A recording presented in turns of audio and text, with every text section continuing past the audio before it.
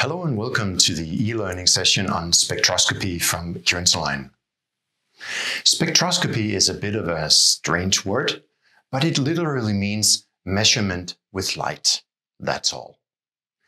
The good news is you can use the analyzers from Q-Interline perfectly without understanding the following video, but you might just be curious.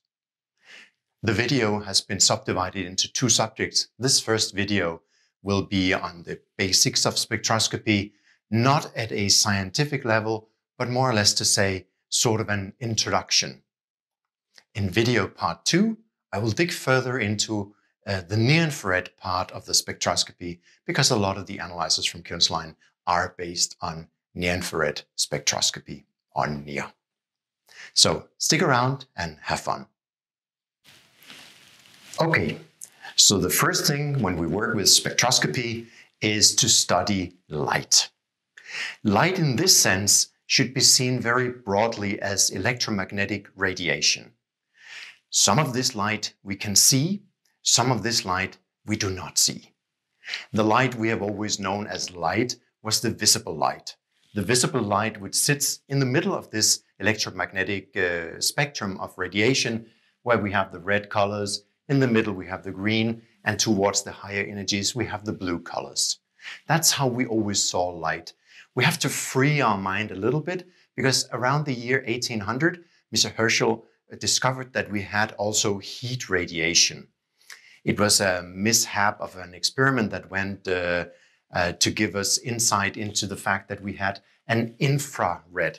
Infra means under, so it's under the red in terms of energy.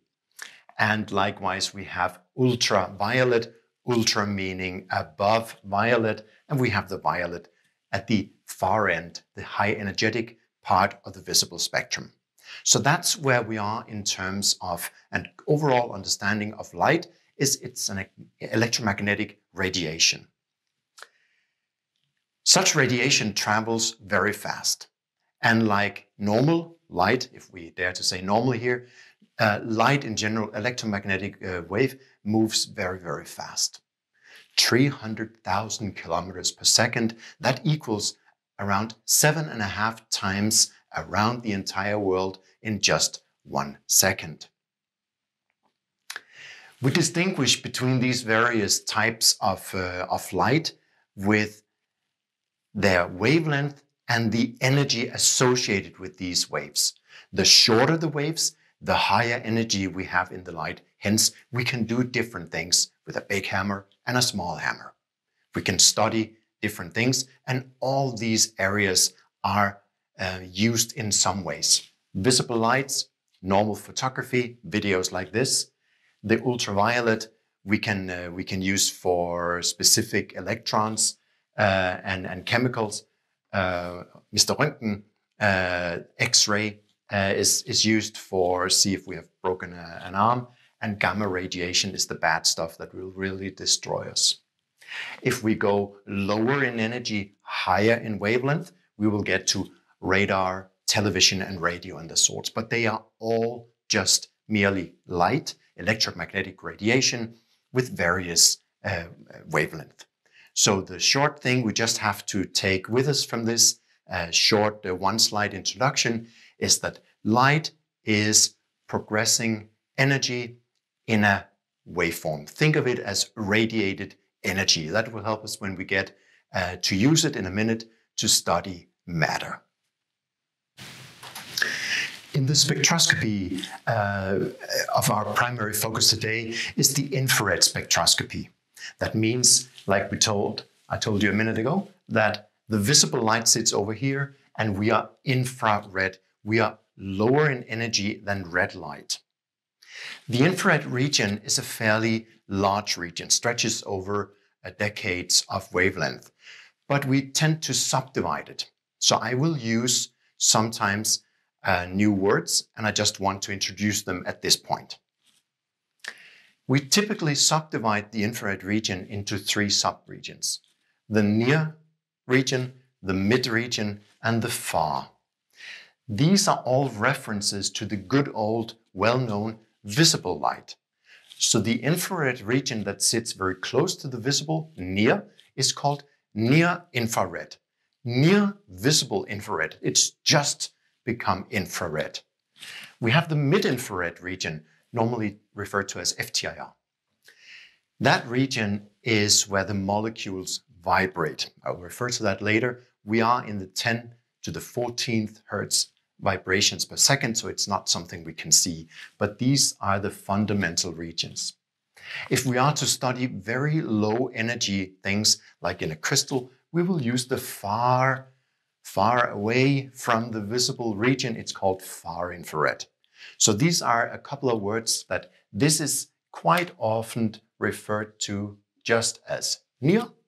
This is quite often called IR, not to be confused with the overall region name. And this is called FIR or far infrared. So abbreviations are in any, uh, in any of these technical languages. And when I talk about near, near infrared, we will talk about that little tiny region sitting close to the visible, but very useful. So now we understand light. Light being progressing energy. This light will have to meet matter, stuff, products. And how is that constructed? Well, for some of you, this is basic. For some of you, it might be new. But let's start at the very beginning. We have atoms. Atoms is made of protons, and around that, we have electrons. If we only have one proton and one electron, we call it hydrogen. If we get to have more protons, uh, we are likely also to have some neutrons. And around that, two electrons. Now we have created helium with a mass of four, but an atomic number of two. So that's a very short introduction to atoms. We will not rest further on that. We will uh, with further ado, we'll go to look at um, molecules. So once we have accepted that we have atoms, we may start to look into molecules. Molecules, if we take an oxygen and we take some hydrogen, hydrogen atoms, oxygen atoms, but now with chemical bonds between these, we can form molecules. In this, we have constructed a water molecule. I have drawn up the connection as springs because that's quite convenient to look at it as a, an interacting force, so to speak, like a spring. Because these uh, springs will, like any other mass, where we have a mass, a mass, and a spring, vibrate. These uh, atoms will vibrate, these molecules will vibrate at very high frequencies, frequencies that matches the infrared. It's actually quite simple to calculate. One might think that it took a gigantic model, but a little bit like if we had a mass hanging from somewhere, we would calculate, if I pull this one, the harmonic oscillator, we could calculate the frequency with the formula and the square root of the uh, mass over the uh, constant. So in this way, having uh, this quite simple formula, we can calculate the vibrations. It's as simple as that. It's all quite simple when we look at water. But what about if we look at other large molecules like proteins and lipids. It becomes a lot more complicated and a lot more vibrations will be visible. But the, the fundamental principles are still the same. When it comes to these vibrations, vibrations, um, if we look at this one, might simply stretch out this way. So we have stretching of the molecule, we could also see bending of the molecule. And we could even see that these guys would rotate. The rotational forces are typically weaker than the bending or the stretching. These stretching and bendings can be symmetrical and asymmetrical. And in this way, we get a lot of motion in the molecule and it all happens at the same time. The rate of vibration here is 10 to the 14th hertz, meaning millions and millions of cycles per second. But the good news is it's uh, completely unique to this molecule. Only an water molecule will have exactly these masses and these springs. So the frequency for this kind of motion will be different from any other. So by looking at a spectrum in which we get to see all these things, we can learn a lot about the molecules by studying their vibrations. Infrared spectroscopy is about looking at molecular vibrations, telling us something about what's there, how much of it. For a molecule to be able to absorb light, it requires interaction with the infrared light. Try to think of it in this way. If we have this stretching going on at some frequency, and this corresponds to a certain wavelength in the infrared, they will interact. They will interact because we have created here a small modulated field. We know that hydrogen is positively charged, and we know that oxygen is negatively charged. And in this way, we have created here what we call a dipole. Only molecules creating a dipole will absorb infrared light. This also means that any organic uh, matter, any functional group will absorb, have its own frequency. On the other hand, it also means that there are things not absorbing infrared because they cannot create a dipole. That would go for oxygen, helium, hydrogen, because these are symmetrical in terms of charge and will not displace any charge out of the homogeneous plan. They will not work with infrared, but there are millions, millions of organic things that will, and all the normal stuff looked at in infrared and near infrared will absorb plenty. Okay, so infrared spectroscopy deals about letting light and matter meet. Typically, we have a light source. The light reaches the sample either in transmission or reflection.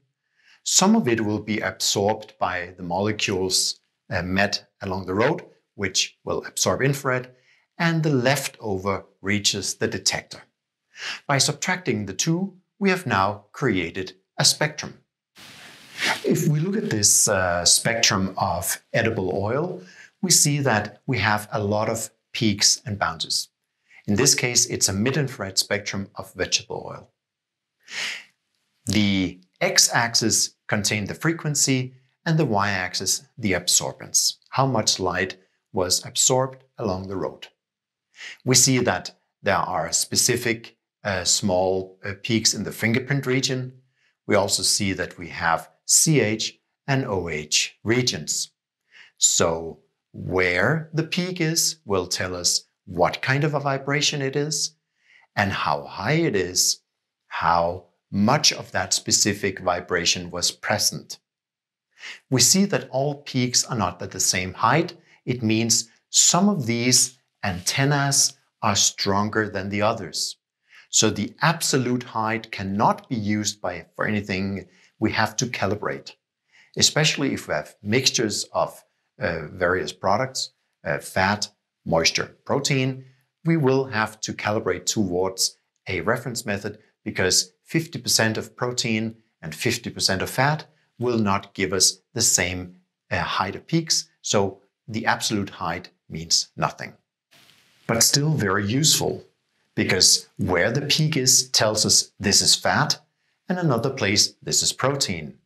And there are large tables to look into to see where will you find your molecule. We can see a little bit more than that because we can also see the temperature of the sample because the hotter it gets, the more it vibrates. So we will see small shifts to higher frequencies. If there is salts present with um, ions like potassium or chloride, we will see that they will move these antennas slightly out of balance. So we can see a lot about the environment of the uh, molecules as well as the amount after calibration. Very useful. So how can we use all this? Well, both mid-infrared, near-infrared, and any other sort of spectroscopy has a vast bunch of applications. The mid-infrared is primarily used for gas phase work or very detailed study of molecules, whereas the near-infrared has become a widely, widely used tool for QC. Uh, it's slightly easier to work with. I'll show you that in video number two. So in conclusion for part one, we have looked at light, we have looked at matter, we have looked at how matter and atoms can form molecules, that molecules vibrate, and that these vibrations can interact with infrared uh, region light and create absorption. And that absorption in reality turns into a spectrum, and that the spectrum can tell us what is there and how much after calibration. So generally speaking, a very interesting region in terms of spectroscopy, very useful for a large bunch of applications. I hope to see you in video number two. Thank you for now.